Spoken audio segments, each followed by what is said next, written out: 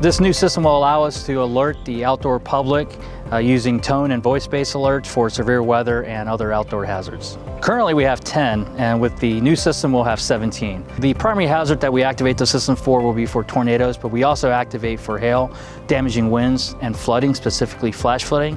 But there are also non-weather related hazards that we will activate the system for including any hazardous material incidents, civil unrest and civil defense.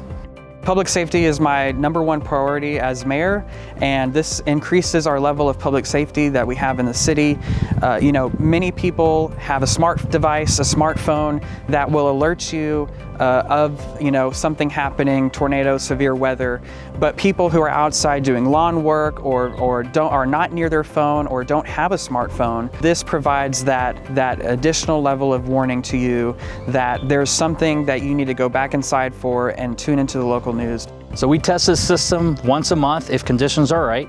Uh, typically we need to have a clear, non-cloudy day, uh, but we activate once a month, first Wednesday at 1 p.m.